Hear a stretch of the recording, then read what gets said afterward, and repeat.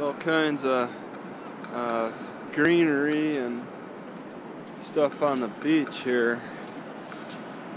It's uh, on one side it's built into like a mountain similar to Astoria but uh, there, there's there's nothing on the top. Astoria is all developed on the top of their mountain whereas this one it's only partially developed and you don't want to develop too much on the top anyway because of erosion. They have problems with um, landslides, particularly during big rains. So it's something to be careful of.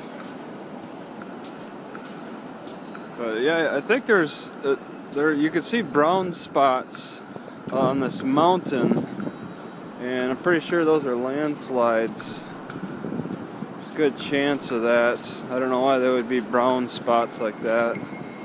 Why else there would be. It's a, it's a gray day. I was getting a little paranoid about a cop. It's he just kept circling around me. You know, I wouldn't be like suspiciously walking through neighborhoods if I had a bicycle like those two guys up there. I'd just be cruising through everywhere. But I gotta, I gotta work, move at a slow pace. And just take, take, uh, take a smaller area in with more uh, attention now. I, I uh, parked my car at the grocery store um, just because I, I, I, stayed overnight in the, the library parking lots and so I just didn't want to make it look like I'm camping at the at the library. So I, I went to uh, it's called Fresh Foods. That's the name of the grocery store. And uh, it's not really much of a brand there.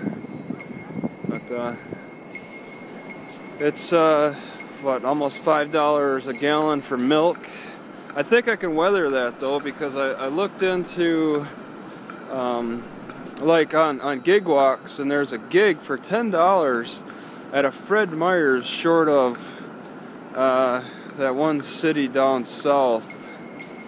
Ilwakaya what some Indian name. And there's a Fred Meyer's like 15 minutes drive south of here so um, I think I could take a, a, couple of, I think I could take a hit or two on some overpriced foods here, and then I can get over to Fred Meyer's and they'll save me because they won't overcharge me like everybody else. So I, I think I'll be comfortable by living within my budget and hanging out around Fred Meyer's.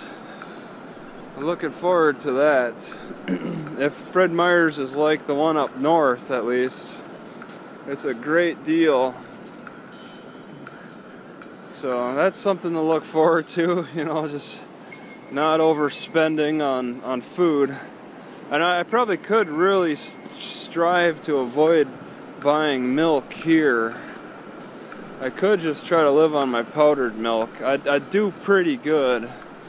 My gut doesn't hurt as much um, right now, but I, I kind of want milk for my, my potato flakes. I think I'd be willing. I, I got the the food food bank food. I, um, that's free, so it can balance out by me overspending a little bit on some food. I think. So this is the beach going into the mountain. I'm just taking a big old walk, and uh, my battery hasn't died yet. I put it in airplane mode because Lifehacker said I should. It's like they say you save more on battery life putting it in airplane mode than you do shutting it off. So I'm gonna play with that since I got a very weak battery on this. See what happens. But it's warmer out anyway. It's the cold weather that just kills my battery. I don't recall it ever killing my battery before. But it's about 50 degrees. It's been raining. Um, I'm just catching it in between rains. Yeah, I'm gonna end here.